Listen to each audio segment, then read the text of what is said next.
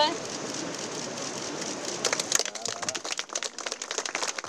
Giorno importante per Monfalcone, di festeggiamenti, di sport, di cultura, commemorazione e di uno sguardo al futuro.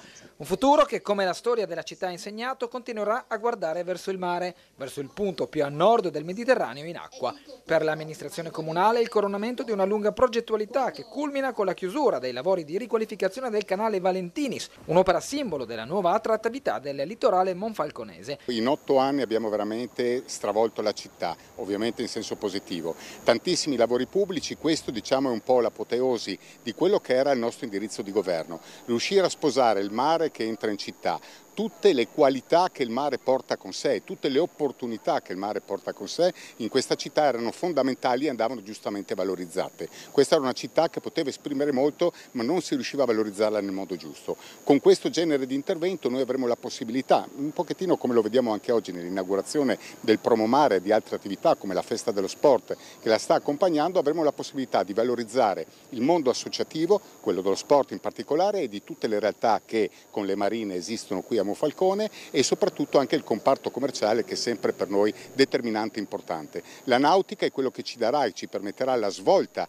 di questo territorio, non solo della città ma di tutto il territorio nei prossimi anni. Questo tipo di intervento va in quel senso. Il tutto anticipato oggi dall'intitolazione della scalinata che collega il canale alla città a Norma Cossetto, giovane patriota istriana uccisa nelle foibe. Eccolo. Scalinata Norma Cossetto. La cerimonia è il preludio al taglio del nastro della quinta edizione di Promo Mare, una tre giorni dedicata al canale Valentinis e al Golfo di Panzano, finalizzata alla promozione di attività sportive e commerciali e che quest'anno per la prima volta è stata allestita e vissuta in mare. Sono passati 199 anni da quando fu scavato il canale Valentinis. No? L'idea era proprio quella di far entrare il Mediterraneo nel cuore dell'Europa. oggi abbiamo fatto qualcosa di molto importante per la città, molto importante per tutta la regione perché questa è una città che si sta molto sviluppando con il mare, con la nautica.